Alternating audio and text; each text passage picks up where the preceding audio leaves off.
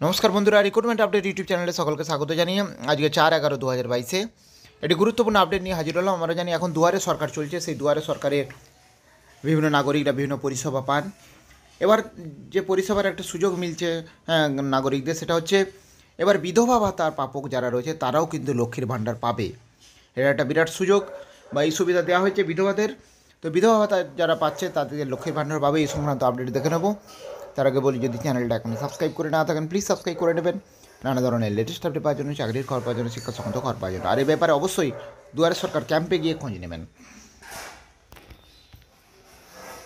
মহিলাদের সার্বিক উন্নয়নের বিষয়টি সরকার বারবার অগ্রাধিকার পেয়েছে এবং উন্নয়নের সেই অভিমুখ আরও স্পষ্ট হলো সাম্প্রতিক এক সিদ্ধান্তে। বুধবার রাজ্য মন্ত্রিসভার বৈঠকে ঠিক হয়েছে বিধবা ভাতা উম, প্রাপক মহিলারা এবার থেকে লক্ষ্মীর ভাণ্ডার প্রকল্পের সুবিধাও পাবেন।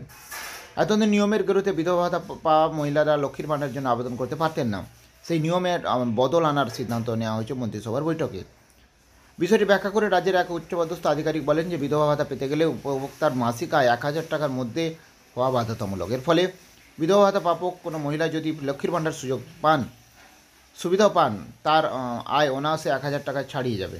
নিয়মের এই গেরোয় বিধবা পা- উম, প্রাপকদের লক্ষ্মীর ভাণ্ডার প্রকল্পের সুবিধা দেওয়া যেত না। প্রসঙ্গত দু সালের শুরুতেই বিধবা ভাতা অঙ্ক টাকা বাড়িয়ে হাজার টাকা করে দেন মুখ্যমন্ত্রী এবং এদিন মন্ত্রিসভার সম্মতি পাওয়ার পর সংশ্লিষ্ট নিয়ম নীতিতে বদল আনা হচ্ছে। নবান্ন সূত্রে খবর, এবার বিধবা ভাতা প্রাপকদের ক্ষেত্রে লক্ষ্মীর ভাণ্ডার প্রকল্পে পাঁচশো থেকে হাজার টাকার অনুদানকে মূল আয়ের সঙ্গে যুক্ত করে দেখানো হবে না। এর ফলে একসঙ্গে দুটো প্রকল্পের সুবিধা পেতে তাদের কোনো রকম বাধা থাকবে না। রাজ্যের এই মুহূর্তে বিধবা ভাতা পান তেইশ লক্ষ মহিলা। অধিকাংশ উপভোক্তার ব্যাঙ্ক অ্যাকাউন্টের প্রতি মাসে সরাসরি টাকা পাঠায় নারী ও শিশু সমাজ কল্যাণ দপ্তর। পঞ্চায়েত দপ্তরের অধীনেও কয়েক লক্ষ উপভোক্তা আছেন রাজ্যে। লক্ষ্মীর ভাণ্ডার প্রকল্পের সুবিধা পাবদের সংখ্যা প্রায় এক কোটি আশি লক্ষ। নয়া নিয়ম চালু হলে এই সংখ্যা আরও কিছুটা বাড়বে। দু হাজার একুশ সালে লক্ষ্মীর ভাণ্ডার প্রকল্প চালু করেন মুখ্যমন্ত্রী এবং নির্বাচনের প্রতিশ্রুতিতে চার মাসের মধ্যে এই প্রকল্প চালু হয়। রাজ্যে এবং তফসিল জাতি উপজাতি সম্প্রদায়ের এই প্রকল্পে মাসে হাজার টাকা, অন্যান্য মহিলারা পাঁচশো টাকা করে পান।